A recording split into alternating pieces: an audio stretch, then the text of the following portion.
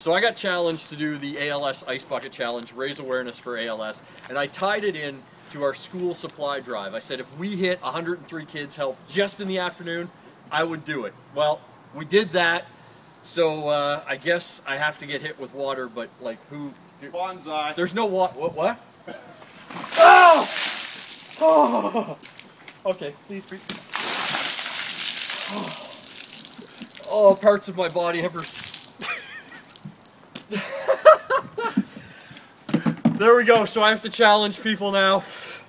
Uh, yeah, I'm sticky and wet. Um, I Welcome challenge. here, new guy. I challenge uh, the mayor of Moncton. I don't know if the entire Wildcats team has done it, and uh, any of my cohorts here. I meant to take my shoes off. Any of my cohorts here that uh, want to take part in this as well, and don't just get dumped with water. Donate some money to ALS as well. Uh, I've done that. You should do it too. And uh, ladies, enjoy the view.